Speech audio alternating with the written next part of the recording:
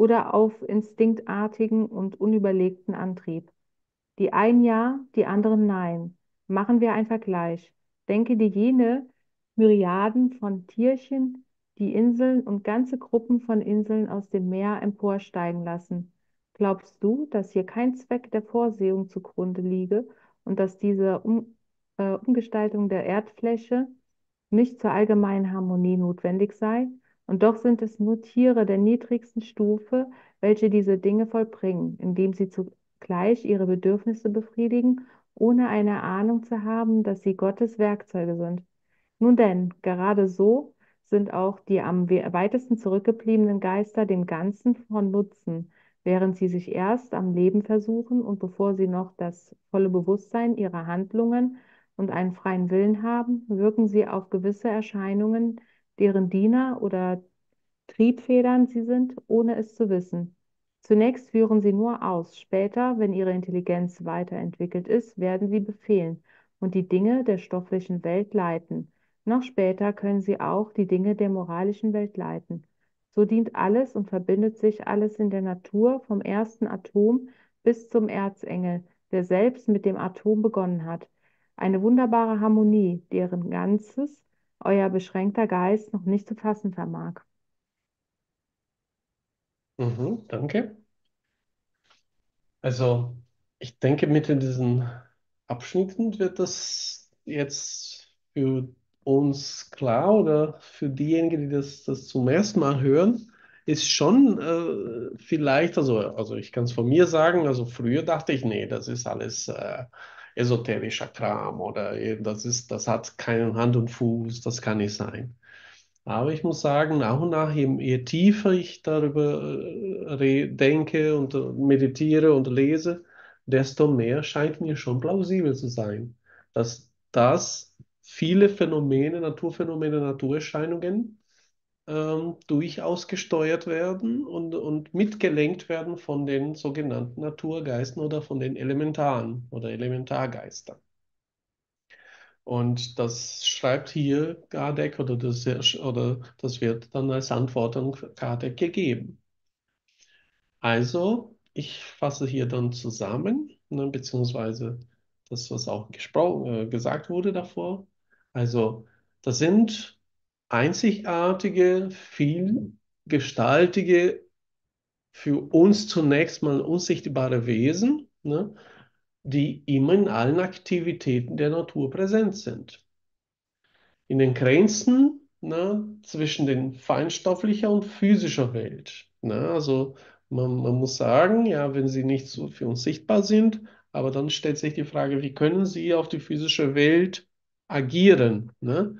Aber ja, also wir werden später sehen, also sie sind vielleicht für, also für man, manche Menschen können die sehen. Ne? Also das ist ja wieder, je nachdem vielleicht, welche Empfindung, Sensibilität, Hochsensibilität jemand hat und auch welche Medialität jemand hat, dann, dann sind sie für diese Person wahrnehmbar. Und auch manchmal ganz, kann man ganz genau sehen.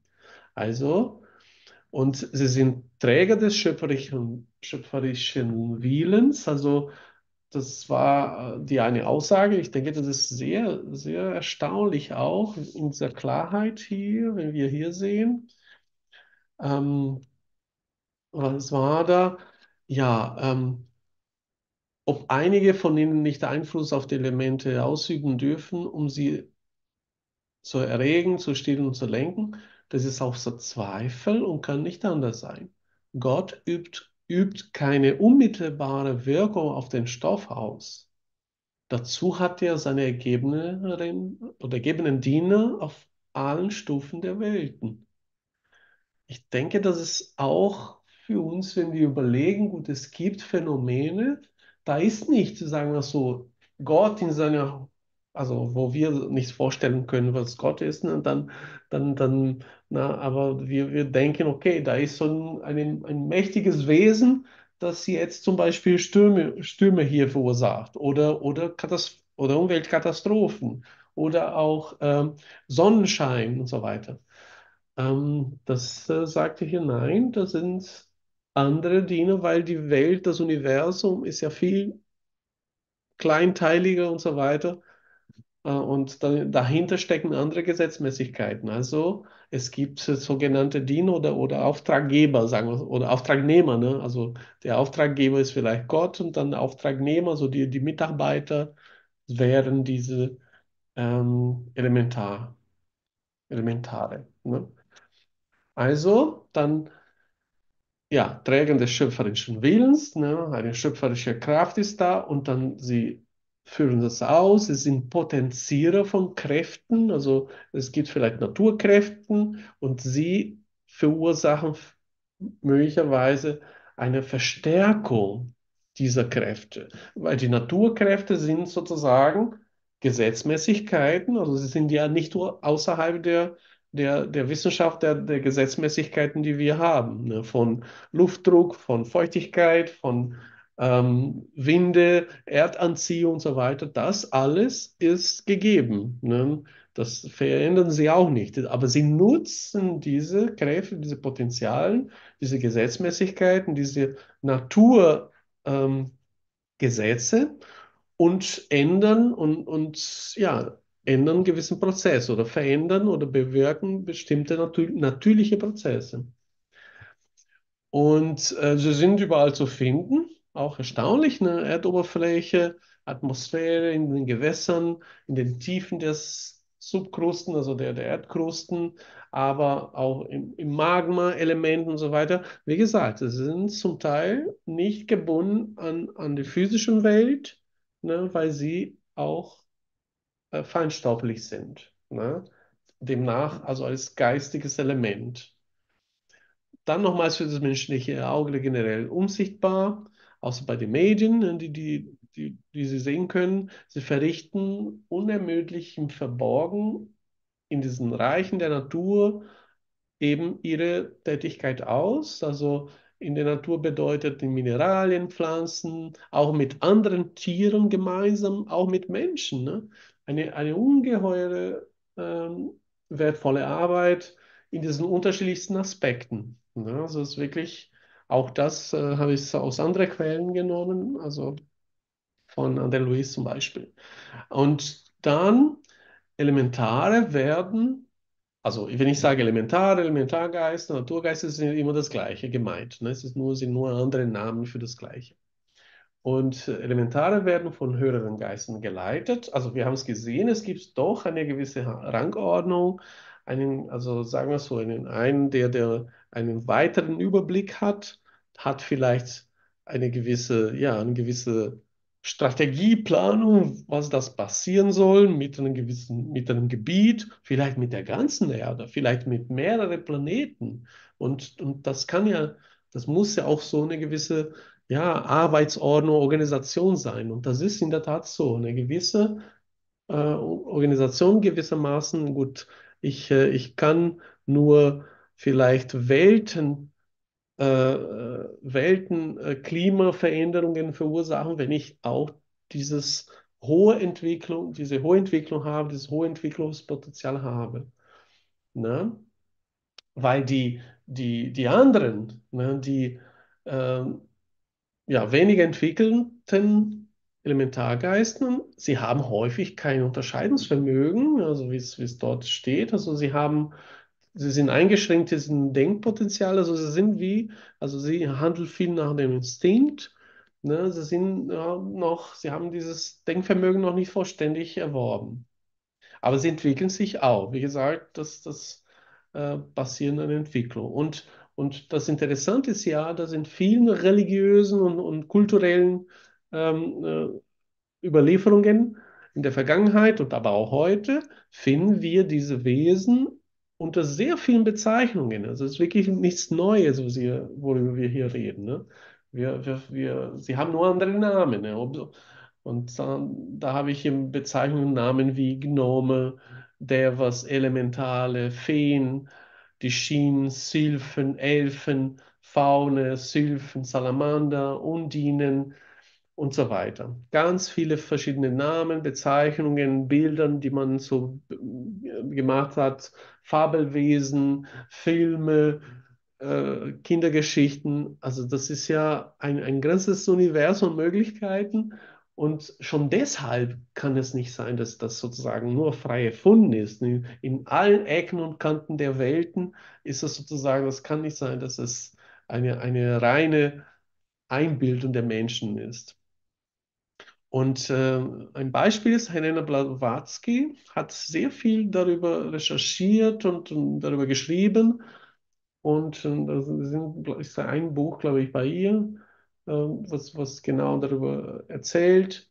Dann gibt es auch von Kabbalisten Klassifizierungen über diese Weiterentwicklung, also die weiterentwickelten Elementaren, die aber auch für Luft, Erde, Feuer, Wasser verantwortlich sind. Also wirklich große große Verantwortung für, für einen gewissen Bereich. Ne? Vielleicht ist es auch so, dass, oder also nicht vielleicht, sondern wir sehen häufig, dass bestimmte, sagen wir so, Spezialisierungen da sind. Ne? Also der, der eine oder die eine Gruppe oder die eine Gattung ist eigentlich nur für Luft, die andere ist nur für die Erde, die andere ist, sind nur für Feuer, Wasser und so weiter. So für diese Elemente, die, die es äh, gibt. Und wir haben, also wenn wir, gut, wenn wir dann, dann weiter versuchen, dann mit uns zu vergleichen, ein bisschen, also wir haben heute und, und schon immer das große, die, die große Thematik, die Erhaltung und der, unseres ökolo ökologischen Gleichgewichts. Also wir wollen im Gleichgewicht mit der Natur leben, wir wohl, wollen wirklich die Natur und die Umwelt ähm, bewahren und dafür sorgen, dass wir natürlich unsere Klima, äh, dass unser Klima sich nicht weiter erwärmt und so weiter. Ne? Und dann ist es die Frage, oder gab es eine Frage an Givaldo damals, Givaldo Franco, welche Haltung oder Handlung nehmen Elementare ein, wenn das Gleichgewicht der Natur von Menschen missachtet wird? Also eben auch das, was heute passiert. Ne? Wir, wir verursachen diese großen Katastrophen, diese Umwälzungen durch die Erderwärmung, durch CO2-Ausstoß und, und, und wir vernichten Regenwald, wir vernichten viele Wälder, wir verseuchen äh, Flüsse und so weiter. Wie, wie passt das zusammen? Wie, wie, ähm, wie würden die Elementare sozusagen äh, reagieren und was halten sie davon? Das, wurde, das war eine Frage an die Waude. Und dann sagt er Folgendes in ihrer Entwicklung, also in der Entwicklung von einem äh, Elementaren, in, in der, beziehungsweise in der Kindheit des Geistes, also in der Kindheit ihren Geistern, sind sie noch primitiv und launisch, wenn sie da in der Entwicklung eben noch nicht so weit sind. Wie gesagt, an sich die meisten davon. Ne? Da haben sie eine gewisse ja, Primitivität oder, oder, oder sagen wir so Einfachheit. Ne? Und sie sind vielleicht launisch, vielleicht manchmal aggressiv und empört, ne, wenn die Menschen eben die, den Regenwald vernichten oder den Wald vernichten. Und sobald sie sich weiterentwickeln, entwickeln sie Güte und haben Mitleid mit, mit eben mit Gegnern des Lebens, so hat er genannt, ne, mit Menschen, die, die die Natur und so weiter zerstören. In welcher Form auch immer es sich das ausdrückt. Ne? Also also zunächst mal, es kann sein, dass, dass, dass sie dann wütend werden und aggressiv und sich dagegen auch wehren, ne, dagegen wehren auch. Man kann es vielleicht eine gewisse Parallel zu der Natur, die sich dagegen wehrt. Ne? Und, ähm, und auf der anderen Seite haben sie, wenn sie dann weiterentwickeln, wenn sie nachdenken, dann entwickeln sie eben dieses Mitleid und, und Güte und so weiter und vergeben auch manche, manche Taten der Menschen gegen die Natur. Und dann sagt er weiter, so inspirieren sie den Schutz der Natur. Also dann, dann geben sie uns auch Inspiration, die Natur zu schützen und die Entwicklung von Ressourcen, ne, von guten Ressourcen, die die Natur erhalten kann, können und äh, ihre Edlung edle Verwendung, also die Verwendung unserer Ressourcen zugunsten des Lebens im Allgemeinen. Also kurz gesagt, sie sorgen gut für die Natur und die Umwelt, was jeder für sich und seine Umwelt tun sollte. So hat äh, Divaldo Franco zu einer Zeitschrift, zu einer, zu einer, ja, bei einem Interview beantwortet.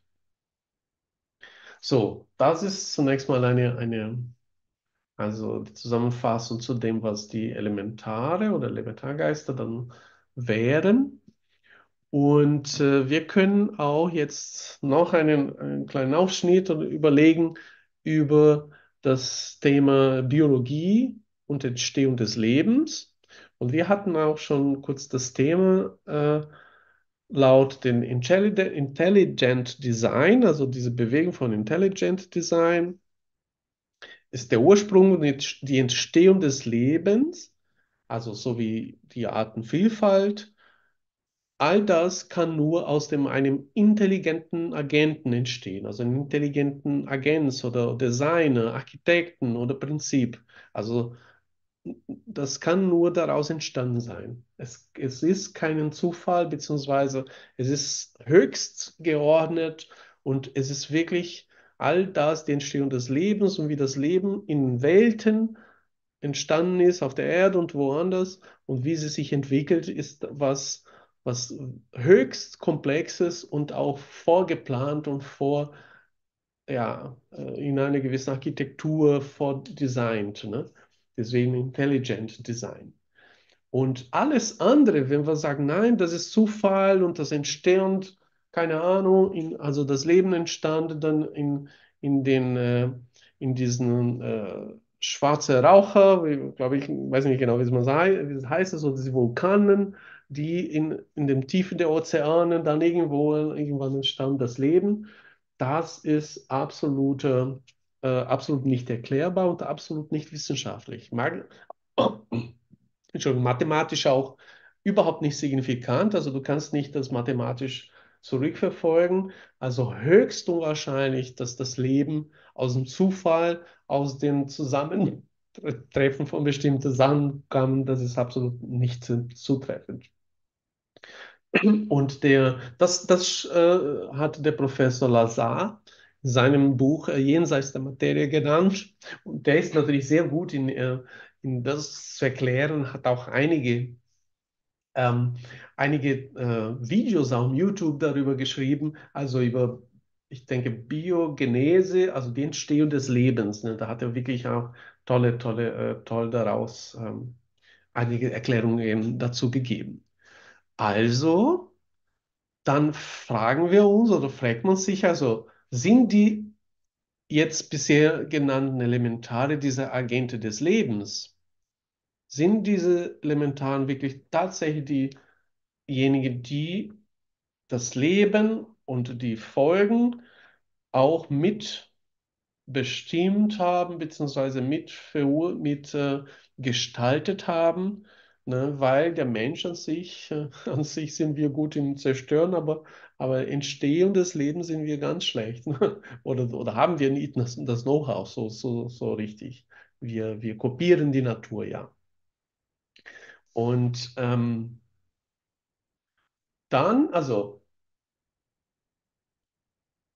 nochmals zur Erinnerung, also wir sprechen hier nicht über was ganz Neues. Ne? Es gab schon immer seit den Urvölkern und Urkulturen Darstellungen von Elementargeistern, Naturgeistern, von Göttern in der Mythologie, welche bestimmte Naturphänomene gesteuert haben und beherrscht haben. Sie wurden auch angebetet, beispielsweise damit Regen kommt, damit Sonne kommt für die Erde.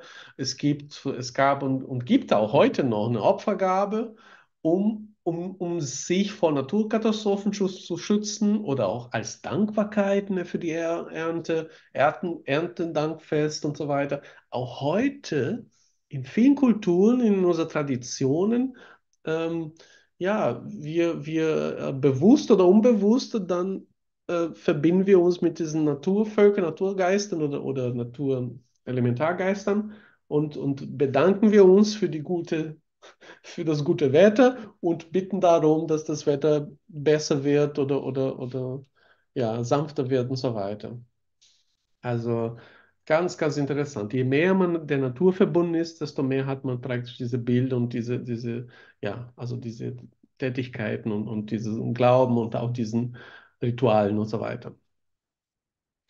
So, dann, wir haben jetzt mehrfach darüber geredet, so wir sind, okay, wie ist es diese Entwicklung? Ne? Wie ist es im Vergleich? Jetzt haben wir ein paar Bilder hier, ne, damit wir auch äh, nochmals ähm, ein bisschen dann plastischer bekommen. Worüber reden wir? Wir reden tatsächlich über diese Bilder, die, die wir ja unterschiedlichster Natur immer wieder sehen, wie wir hier rechts sehen.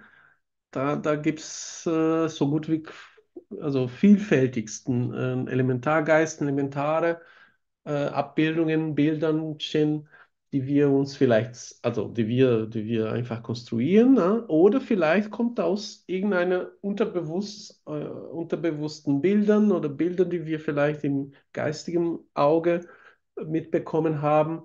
Dann da haben sie wir gemalt, bemalt oder, oder geschrieben und, und beschrieben.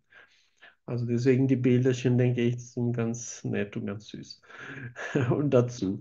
Und dann, wenn wir hier sehen, also wenn wir unten sind, wir sind bei der Entwicklung hier und dann oben wäre ein Be beispielsweise eben das, die höchste Entwicklung oder die höhere Entwicklung. Und wenn wir hier sehen, wir sind Menschen auf der linken Seite und die Elementar, Elementare dann rechts. Und da kommt auch etwas, was, wenn wir dann weiter und, und tiefer recherchieren und, und vergleichen die Bücher, die darüber sprechen und versuchen auch eine gewisse Logik daraus zu finden, dass, dass in der Tat auch eine Übergangsreinkarnation möglich ist. Na, es ist schon möglich, dass das Elementare dann, also in die geistige Welt sind oder, oder gehen und als Menschen inkarnieren. Ne? Und, und ab einer gewissen Entwicklungsstufe ist es auch möglich, dass ich als Mensch dann mich entweder äh, entwickle oder eben erscheine als Naturgeist ne, oder dort bleibe als Naturgeist und äh, im, im, Sinne von, ich habe eine Aufgabe, die ist sehr gebunden mit der Natur ne, oder ausschließlich verbunden mit der Natur, bestimmte Bereiche, wie wir gesehen haben. Und diese Entwicklung geht weiter, geht weiter, wirklich bis dann vielleicht ganz oben ist dann äh, keine Unterscheidung mehr. Ne? Also in einer gewissen Entwicklung sind wir, also gibt es dann nur erhabene Geister und erhabene, erhabene Wesen, hohe Lichtwesen und so weiter.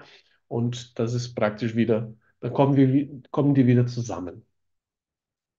Ne? Und das ist so ein bisschen der Vergleich zu dem, was wir, ja, wenn wir so vergleichen würden. Ne? Ist schwierig zu vergleichen, aber eben nur, damit man so praktisch sieht. Also es ist wirklich auf der einen Seite andere Gattungen, andere Wesen oder so. Das sind nicht Menschen, ne?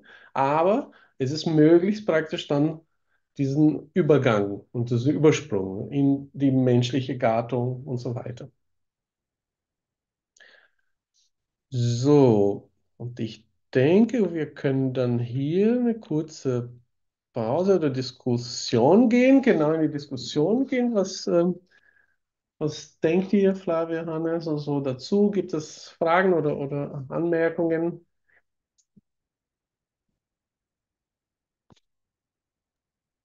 Machen wir das Bild. Ja, ja, das ist, äh, ich war eben äh, mit dem, äh, also ich war eben mit dem Gedanken stehen geblieben, dass es gibt ja auch sehr viele Menschen, die eine sehr große Affinität zur Natur haben und äh, sich sehr mit der Natur verbunden fühlen oder äh, ähm, auch die, die Kraft auch der Natur ähm, spüren und äh, aus der Natur auch die Kraft schöpfen. Ne? Und ähm, ja, Ja, zum Beispiel Schamanen, also Schamanismus ist etwas, was sehr nah an uns kommt, ne, eine spezifische genau, Lehre. Und die ja. sind viel verbundener, viel mehr verbunden mit der Natur als wir. Ne?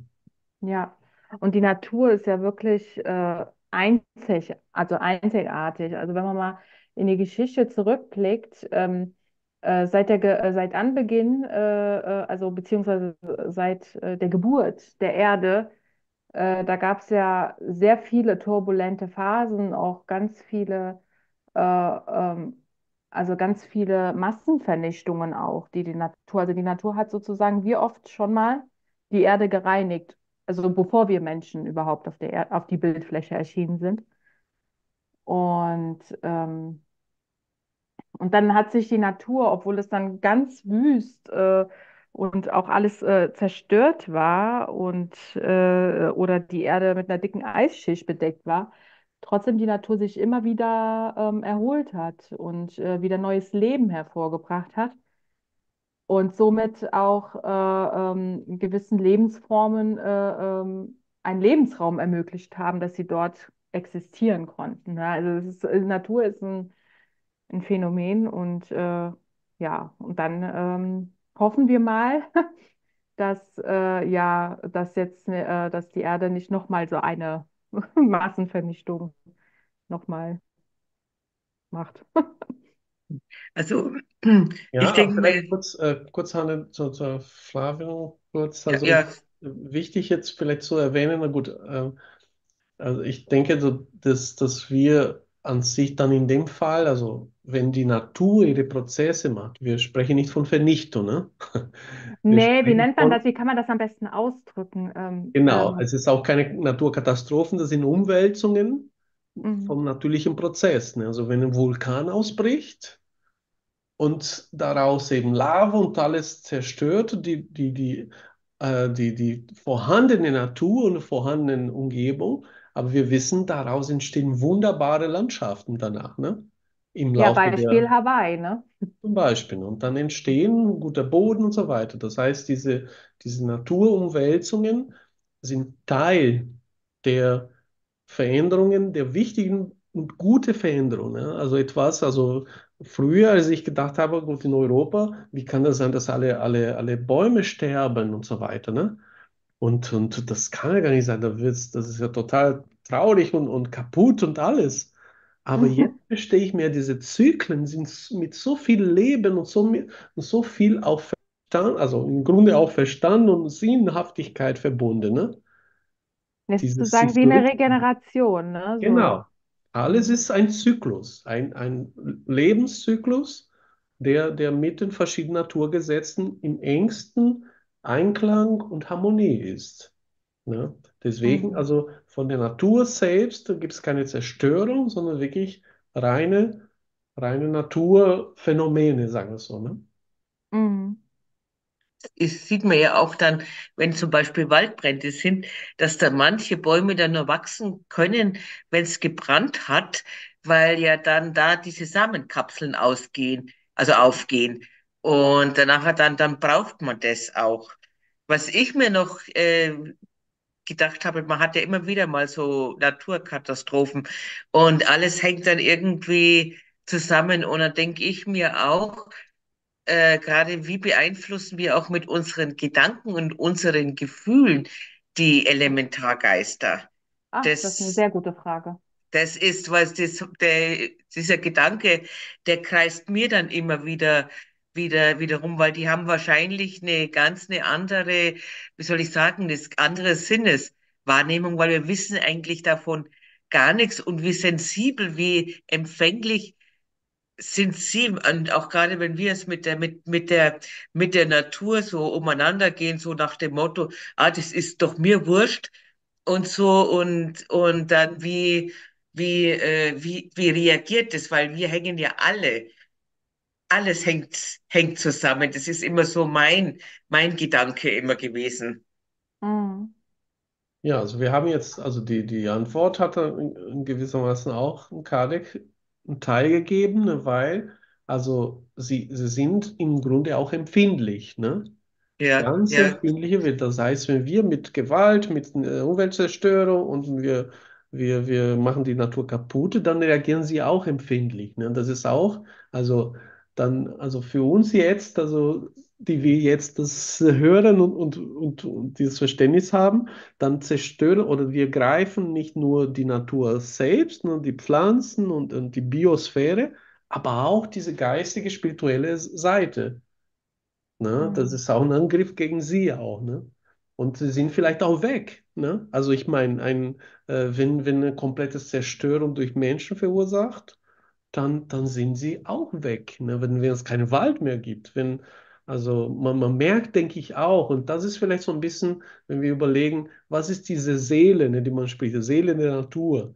Und das ist wirklich so, ne? Dass, dass man, ich denke, man spürt, Also wenn man schon zum Beispiel na- nach Amazonien gegangen ist und Amazonien und alle Wälder und das ganze Leben und so weiter und dann plötzlich, wo du dann, wenn man reinkommt in diese Gegend, wo wirklich alles abgeholzt ist, alles für, für oder entweder verbrannt oder, oder durch alle die ganzen Bäume weg sind, dann spürt man auch, dass das so ein bisschen so ein Loch ist, ne? So ein seelenloses äh, Loch plötzlich. Ne? Mhm. Man spürt eine gewisse Traurigkeit, eine Ja, gewisse, ja, ne? ja.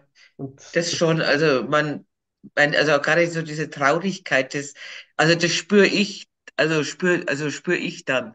Also das habe ich da auch schon, ich war ja auch schon mal so Amazonas Regenwald und wenn man dann da so sieht, was da alles, alles gemacht wird und finde, dass sich dann da auch viel, viel verändert. Also eher eine, eine Traurigkeit und eine gewisse Schwere. Mhm. Genau, wirklich. Und ich, das, das, und dann, klar, man könnte sagen, ja, gut, äh, ja, es ist ja nur, weil wir sehen, wir sehen das auch und wir sind traurig, aber es muss man sagen, dass, dass dieses, dieses Empfinden müssen wir mehr und mehr entwickeln, ne? Für, Mhm. für diese, ja, dass auch eine geistige, eine geistige Biosphäre da ist und ein geistiges Leben ne? und dann die Abhängigkeiten, also das sind dann, das sind ja schon, also ein dritter Komponent, ne? Das sind die ganze, also Pflanzenwelt, also äh, die, und dann die, und die Tierwelt, ne? Und jetzt die geistige Welt. Wenn wir eine, einen Wald zerstören, dann zerstören wir die drei, ne? Also nicht nur Fauna und Flora, sondern Fauna, Flora und spirituelle Welt. Ja, dass wir alle gemeinsam koexistieren, ne? Genau, aber wenn kein Mensch dort lebt, dann, also ist ja schlimm genug, und wenn, wenn die, Ja. äh, wenn Wälder und, und Tiere eben sterben und, und wegkommen und nicht mehr da sind, aber auch diese gesamte äh, geistige, ja, der geistige, die geistigen Zusammenhang, die Umwelt, die geistige Umwelt. Mhm. Also, und, und das ist auch das, was wir, ja, wenn wir sehen, gut, und dann ganz, also wir, ich denke, es ist wichtig, dass wir dann auch eine, eine Studie machen, wo wirklich nur über die Naturkatastrophen reden, ne? Weil was wir heute erleben, diese ganzen Umwelt- und Naturkatastrophen, sind menschengemacht. Das hat mit diesen, mit diesen natürlichen Prozessen nicht mehr zu tun. Ja. Und das ist das Krasse dabei. Ne? Also, dass diese großen Naturumwälzungen sind meistens wirklich, vielleicht die eine oder andere Geschichte war sozusagen vorgesehen und die Erde entwickelt sich und so weiter. Aber die Mehrheit dieser Extremumwälter, diese Extremwerte ist ja nicht von denen gemacht, es ist wirklich von uns selbst Menschen. Also, was, weil wir eingegriffen haben oder zerstört haben, diese natürlichen Prozesse und so weiter. Ne? CO2 und so weiter. Und, und das ist dann eben, wo, wo sie, wo diese Naturgeister und die Mentalgeister, sie können ja nichts mehr tun, dagegen tun.